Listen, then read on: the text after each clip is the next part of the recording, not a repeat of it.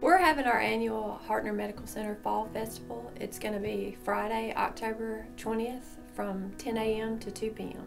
Last year we had about 110 booths. We had everything from hospice care to home health, food trucks, we had music, 93QID was here.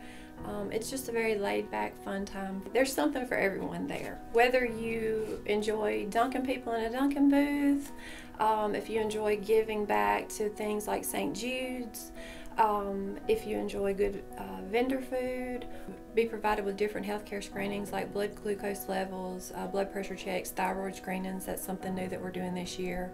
Um, they're able to see what's offered not only in our community but surrounding communities.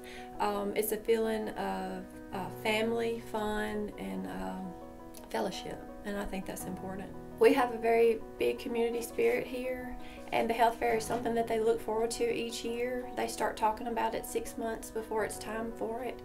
Um, and it's just it's it's something that they enjoy and we enjoy watching them as they're here having fun.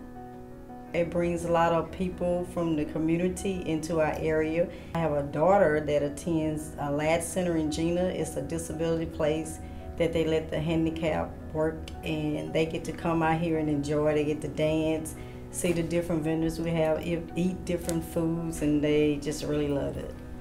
I love seeing uh, our patients and families come and enjoy, but I also love seeing the vendors enjoy. They uh, are laid back, laughing, having fun, and, and our hospital employees too.